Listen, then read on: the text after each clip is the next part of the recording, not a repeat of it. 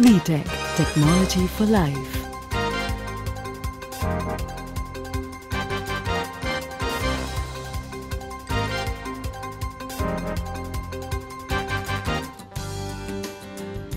Baking bowl को machine के अंदर रखिए। व्हाइट ब्रेड बनाने के लिए प्रीसेट पहले ही प्रोग्राम्ड है।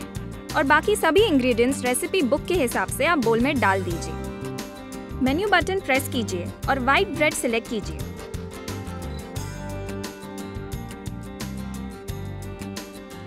फिर ओके बटन दबा दीजिए।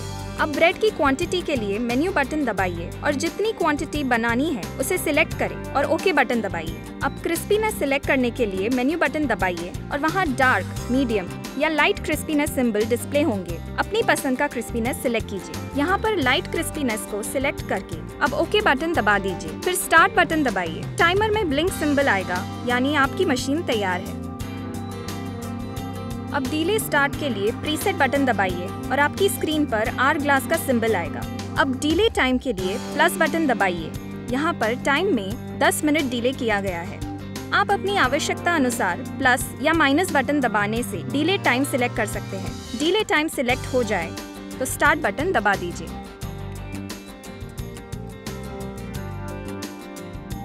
हालाँकि स्मार्ट शेफ में प्रीसेट प्रोग्राम ऑलरेडी सेट है। फिर भी आपको अपनी रेसिपी पकाने के लिए अलग समय व टेम्परेचर की आवश्यकता हो सकती है। तो आप do it yourself technology choose कर सकते हैं। ये फोर स्टेप टेक्नोलॉजी का कमाल है।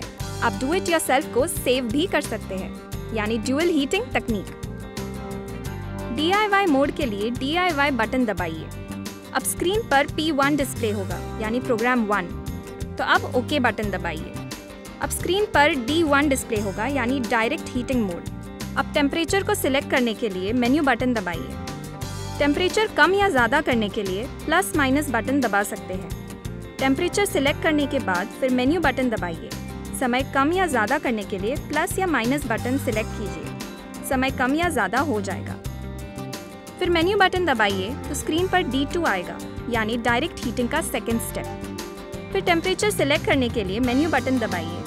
और टेम्परेचर कम या ज़्यादा करने के लिए प्लस या माइनस बटन दबाकर मेन्यू बटन दबा दीजिए। टेम्परेचर सिलेक्ट करने के बाद समय सिलेक्शन के लिए प्लस या माइनस बटन इस्तेमाल करके मेन्यू बटन दबा दीजिए। सिलेक्ट डी बटन दबाइए। इसमें स्क्रीन पर C3 यानी कन्वेक्शन मोड फिर पहले जैसे टेम्परेचर और समय सिलेक्ट कीजिए।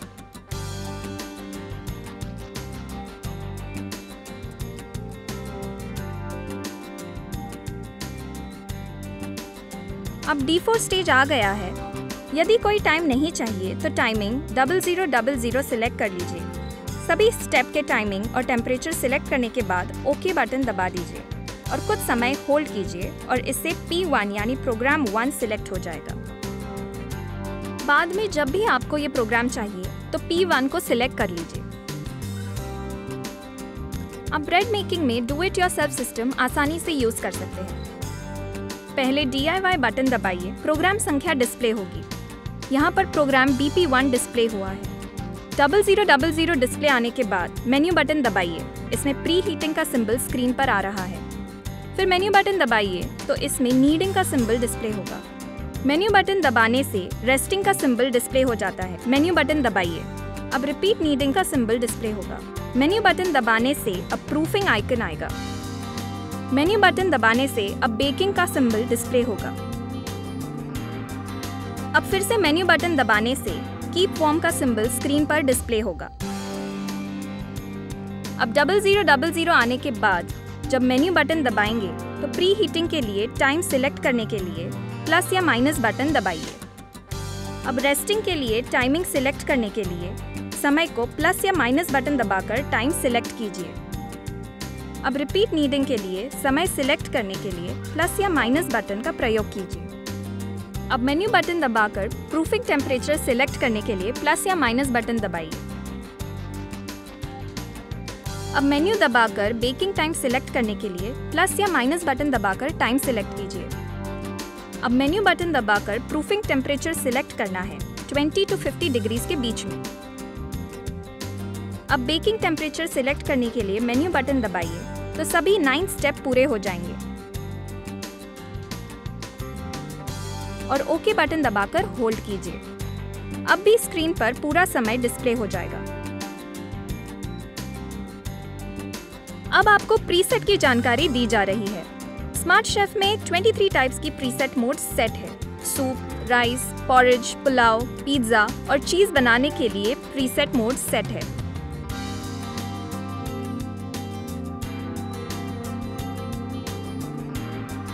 फिर खाना पकाने के लिए boiling saute steaming deep frying या कीप वार्म की आवश्यकता होती ही है और ये सभी इसमें प्री प्रोग्राम्ड है।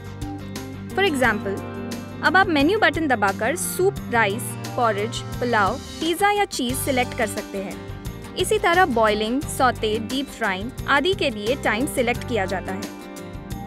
स्मार्ट शेफ में 45 प्रोग्राम सेट है, जिन्हें अलग अलग खाना पकाने के लिए। या DIY प्रोग्राम यूज़ करने के लिए यूज़ किया जाता है